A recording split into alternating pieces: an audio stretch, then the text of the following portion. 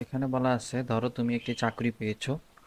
তোমার, তুমি তোমার বেতন থেকে প্রথম মাসে বারোশো টাকা সঞ্চয় করলে এবং প্রতি মাসে, পূর্ববর্তী মাসের তুলনায় একশো টাকা করে বেশি সঞ্চয় করতে থাকবে। তো সেক্ষেত্রে প্রশ্নে বলা আছে, তুমি বিশতম মাসে কত টাকা সঞ্চয় করবে? প্রথম বিশ মাসে মোট কত টাকা সঞ্চয় করবে? কত বছরে তুমি মোট এক লক্ষ ছয় হাজার দুইশো টাকা সঞ্চয় করতে পারবে, এটা আমাদেরকে বের করতে বলছে। ওকে আমরা প্রথম অঙ্কটা দেখব, কেমন? প্রথমটাতে যাব। ওকে প্রথমে বলছে, তুমি বিশতম মাসে কত টাকা সঞ্চয় করবে? সেটা আমাদেরকে বের করতে বলছে। তাহলে এখানে আমাদের সূত্র যেটা চলে আসে, সেটা হচ্ছে এন তম পদের সূত্র। এন তম পদ। এন তম পদের সূত্র হচ্ছে এন তম পদের সূত্র হ্যাঁ? এন তম পদের সূত্র কত? এনতম পদের সূত্র হচ্ছে A one plus N minus one into D ঠিক আছে? এটা হচ্ছে আমাদের এনতম পদের সূত্র। এখন আমরা এই এনতম পদের সূত্র ব্যবহার করে আমরা কি করব? ক নম্বর অঙ্কটা করব হ্যাঁ? তুমি বিশতম মাসে কত টাকা সঞ্চয় করতে পারবে, কেমন? এবার আসুন বিশতম মাসে হ্যাঁ? এনতম পদের সূত্র তো আমরা জানি। A one plus N minus one into D তাহলে এখানে এ ওয়ান কত? সেটা আমাদেরকে লিখতে হবে A one equal to A ওয়ানের মান কত? আমরা একটু দেখি। এ ওয়ান হচ্ছে প্রথম মাসে বারোশো টাকা, ঠিক আছে? এটা হচ্ছে এ ওয়ানের মান। তাহলে এখানে লিখলাম হচ্ছে বারোশো। এ ওয়ান হচ্ছে বারোশো। এ ওয়ান বারোশো। এবং আমাদেরকে বলছে যে প্রত্যেক মাসে কত? একশো টাকা করে বাড়বে। তার মানে ডি এর মান হচ্ছে আমাদের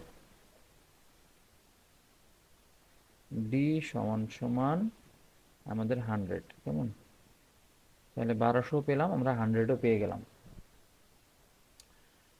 তো এবার আসো হচ্ছে আমাদের যে বিশতম মাসের সূত্রটা বের করতে হবে হ্যাঁ?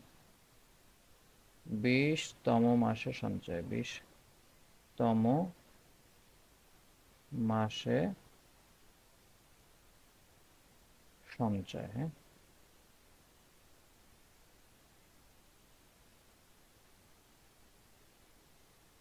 বিশতম মাসে কত টাকা সঞ্চয় হবে সেটা আমরা যদি বের করতে চাই, তাহলে সূত্রটা কি? এ ওয়ান এ ওয়ান মানে হচ্ছে বারোশো।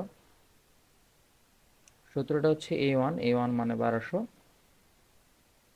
Plus N minus one into D মানে এন এর, এখানে কিন্তু এন এর মানটা হবে বিশতম হ্যাঁ? এন এর মান হবে আমাদের বিশতম, কেমন? এন এর মান বিশ, কেননা আমাদের বিশতম মাসের ম্যাথটা করতে বলছে। সো এন এর মান যদি বিশ হয়, এখানে বিশ দাও টোয়েন্টি প্লাস এখানে হচ্ছে সরি এখানে প্লাস হবে না, এখানে মাইনাস হবে, আসলে এখানে মাইনাস হবে, কেমন? মাইনাস হ্যাঁ minus one into D D এর মানটা হচ্ছে আমাদের কিন্তু হান্ড্রেড ঠিক আছে? ডি এর মানটা হচ্ছে আমাদের হান্ড্রেড এখন এখানে ইন্টু হান্ড্রেড দিয়ে দিয়ে দেব।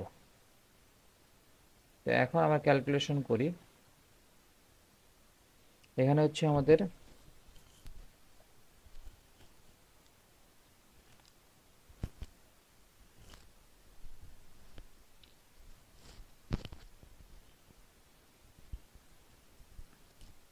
আমাদের এখানে মানটা হচ্ছে বারোশো।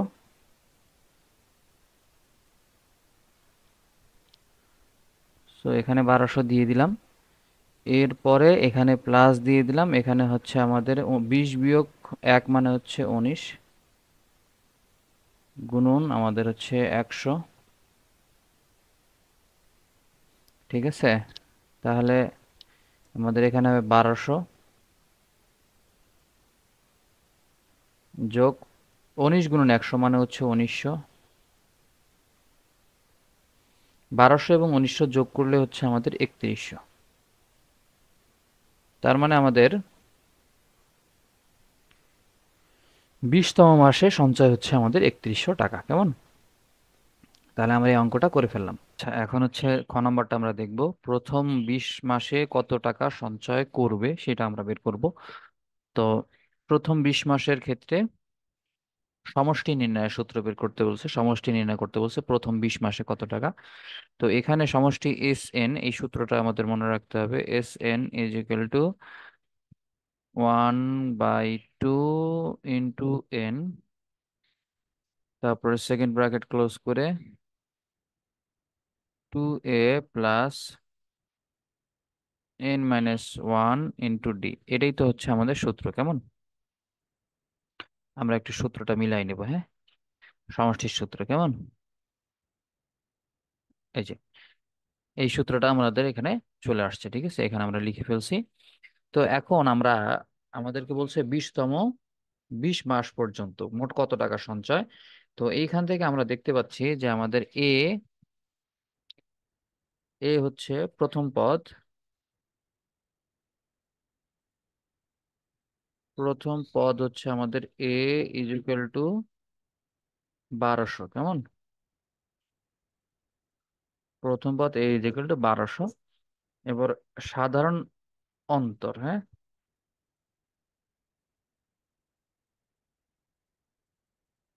সাধারণ অন্তর অন্তর জিনিসটা কি? পার্থক্য। পরপর দুইটা পদের পার্থক্য, সেটাই হচ্ছে আমাদের অন্তর। সাধারণ অন্তর D is equal to hundred এই হান্ড্রেড আমরা কোথায় পেয়েছি? এটা আমাদেরকে দেখতে হবে। হান্ড্রেড পেয়েছি আমরা এখানে বলছে, দেখো, যে প্রতি মাসে আগের মাসের তুলনায় বা পূর্ববর্তী মাসের তুলনায় একশো টাকা বেশি সঞ্চয় করবে। এটা ডি এর মান। এখন বিশতম মাস মানে এন এর মান হচ্ছে আমাদের টোয়েন্টি কেমন? তাহলে N is equal to twenty তাহলে বিশতম মাস, বিশ মাস পর্যন্ত যে সঞ্চয়টা সেটা বের করতে গেলে আমাদের এ লাগবে এ পেয়ে গেছি ডি লাগবে ডি পেয়ে গেছি। এবং এন এর মান বিশ সেটাও আমরা পেয়ে গেছি। এখন আমাদের সমাধান করার পালা। তাহলে S twenty is equal to এখানে লিখতে হবে, বিশ মাঠে, বিশ মাসে মোট সঞ্চয়। বিশ মাসে মোট সঞ্চয় হ্যাঁ?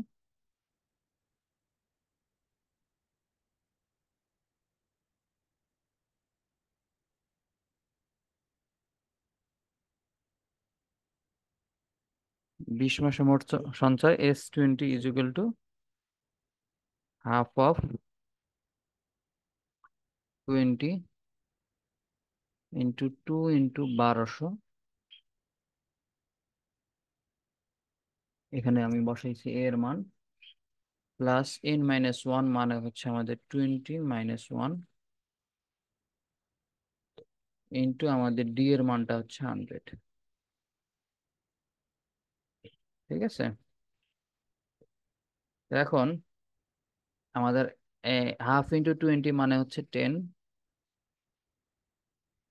এদিকে টু ইন্টু বারোশো মানে হচ্ছে চব্বিশশো।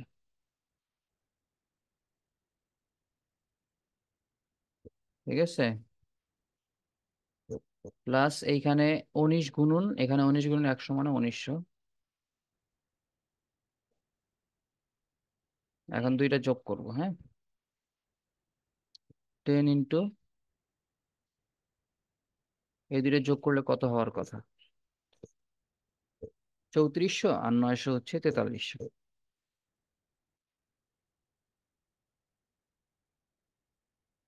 তেতাল্লিশের সাথে দশ গুণ করলে হবে হচ্ছে তেতাল্লিশ হাজার।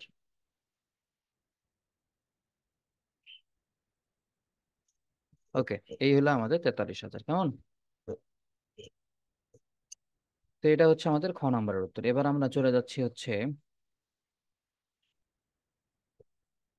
আমাদের গ নম্বরে। গ নম্বর বলছে, কত বছরে তুমি মোট? এত টাকা সঞ্চয় করতে পারবে? কত বছরে? আচ্ছা এখানে আমরা প্রথমে মাস দিয়ে অঙ্কটা করব, তারপরে হচ্ছে বছরের হিসাবটা করব। তো আমাদের প্রথম অংশ থেকে আমরা জানি যে এখানে এ হচ্ছে বারোশো।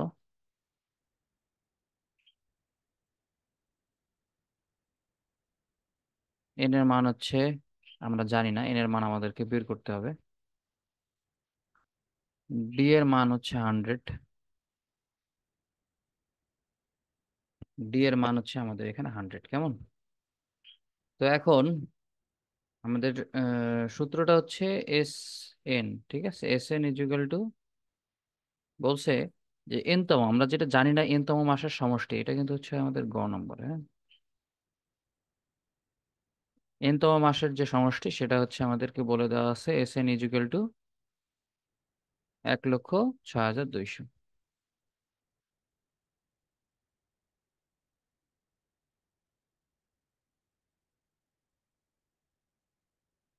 এক লক্ষ ছয় হাজার দুইশো, কেমন?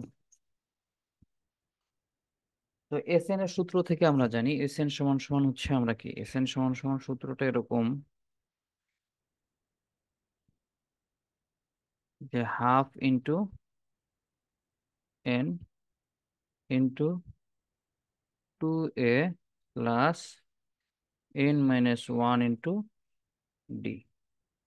তো শর্ত মতে শর্ত মতে হচ্ছে এইটা এইটা সমান হবে, ঠিক আছে? তাহলে এখানে আমরা লিখব শর্ত মতে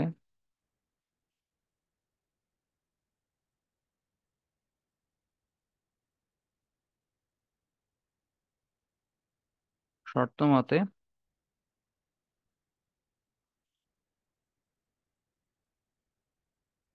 half into N,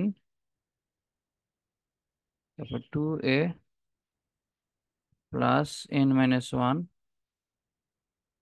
into D is equal to দশ হাজার সরি এক লক্ষ ছয় হাজার দুইশো।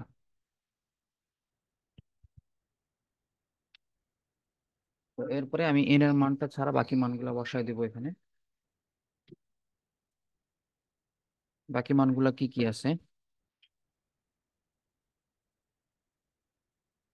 বা হাফ ইন্টু এন ঠিকঠাক এন এর মান, এ এর মান হচ্ছে বারোশো। মানে আমি এটাকে ক্যালকুলেশন করে সমাধান করব আর কি। বারোশো প্লাস এন এর মান আমরা জানি না, এন মাইনাস ওয়ান ইন্টু আমাদের ডি এর মান হচ্ছে হান্ড্রেড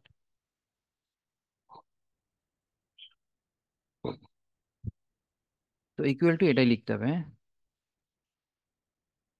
এক লক্ষ ছয় হাজার দুইশো, ঠিক আছে? ওকে। তো এখন আমরা একটু ক্যালকুলেশন করব কীভাবে? এইখানে আমাদের বা এন ডিভাইড বাই টু এটা ঠিকঠাক হ্যাঁ। না, এটা আমরা ঠিক রাখব না। এই দুই এখানে ভাগ আকারে আছে সাইড চেঞ্জ হয়ে গেলে গুণ হয়ে যাবে, সেটা আমরা করে দিব। এই দুই এখানে ভাগ আকারে আছে টোটালটার সাথে সাইড চেঞ্জ করলে গুণ হয়ে যাবে, কেমন? সেটা কি হবে? তাহলে এন ইন্টু এইখানে এই দুইটা গুণ করলে চব্বিশশো। চব্বিশশো লিখলাম। প্লাস এন আর একশো গুণ করলে হচ্ছে একশো এন হ্যাঁ?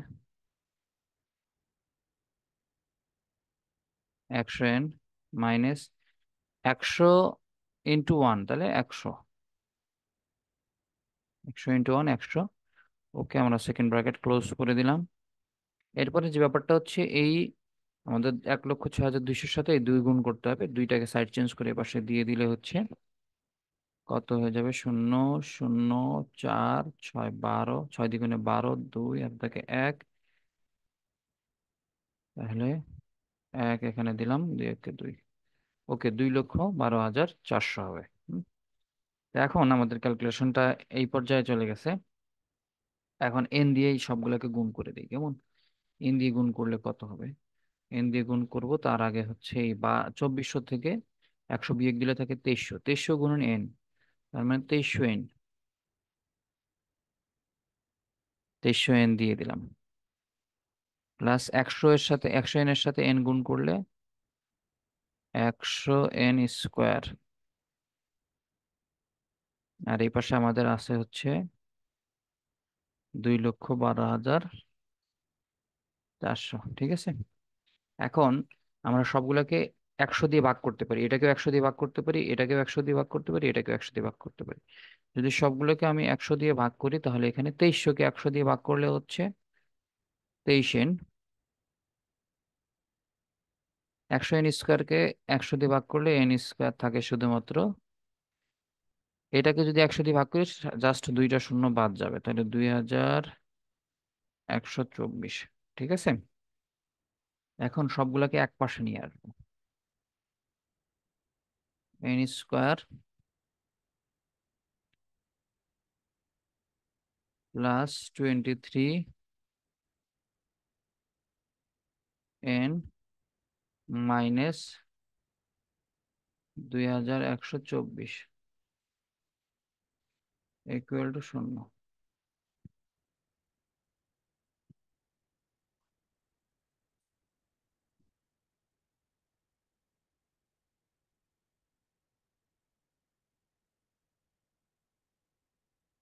তাহলে এখন আমাদের মিডল টার্ম করার পালা চলে আসছে। মিডল টার্ম এমনভাবে করব যেন কত হয়?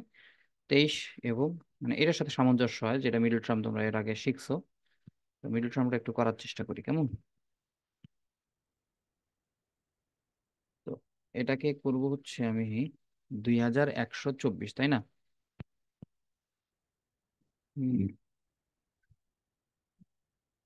দুই হাজার একশো চব্বিশ ভাগ একটা সংখ্যা দিয়ে দেখি সাত দিয়ে কত হয়? সাত দিলে হচ্ছে না।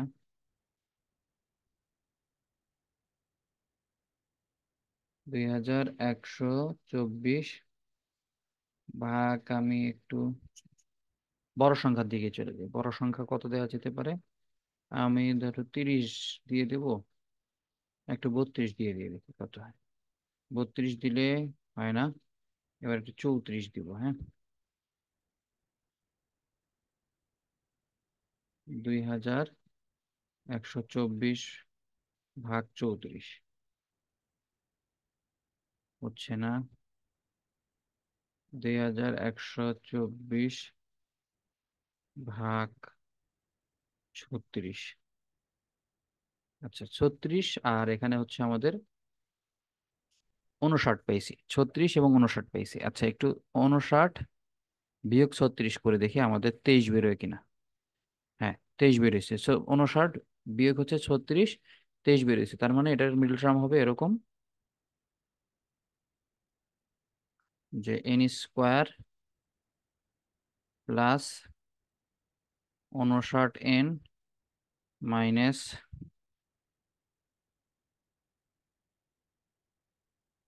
ছত্রিশ N minus two one two four. ঠিক আছে? এটা চলে আসছে। এবার এখান থেকে আমরা যদি একটু আগাইতে থাকি, তাহলে এটা মিডল টার্ম করলে হবে এরকম। তোমাদের এন কমন নিলে N plus fifty nine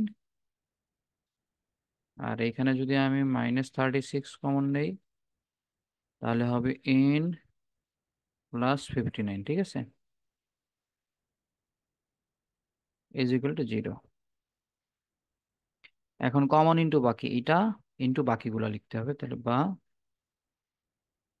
N plus fifty nine into বাকি কত কি কি আছে? N minus three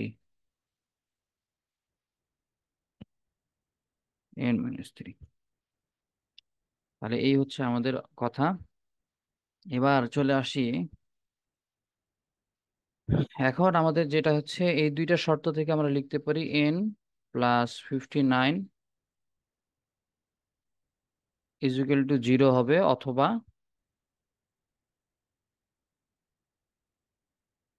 প্রথমটা সমান সমান জিরো হবে, আর না হলে N minus three is equal to zero হবে। যে কোনো দুইটার একটা জিরো হবে। ঠিক আছে? থ্রি না, এটা থার্টি সিক্স এটা হবে থার্টি সিক্স ঠিক আছে? এত, তাহলে এন ইজ ইকুয়াল টু এইখান থেকে আমরা, এই রাশি থেকে আমরা পাবো N is equal to minus fifty nine যা গ্রহণযোগ্য নয়, যা গ্রহণযোগ্য নয় হ্যাঁ?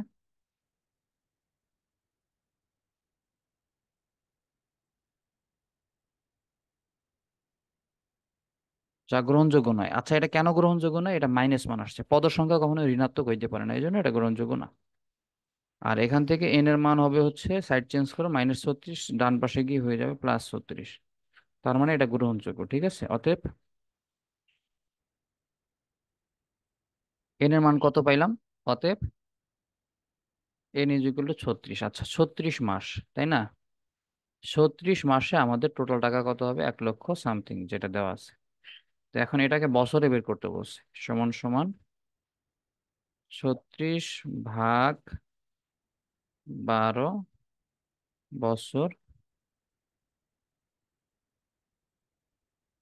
সমান সমান হচ্ছে তিন বছর, ঠিক আছে? তাহলে তিন বছরে আমাদের টোটাল অ্যামাউন্টটা কত হবে? দশ লক্ষ সরি এক লক্ষ ছয় হাজার দুইশো। তাহলে এটাই হচ্ছে আমাদের উত্তর, তিন বছর, কেমন? তাহলে আমাদের গ নাম্বারের উত্তর আমরা পেয়ে গেছি। ইনশাল্লাহ নেক্সট ক্লাস দুই এবং তিন নাম্বারটা আমরা করব।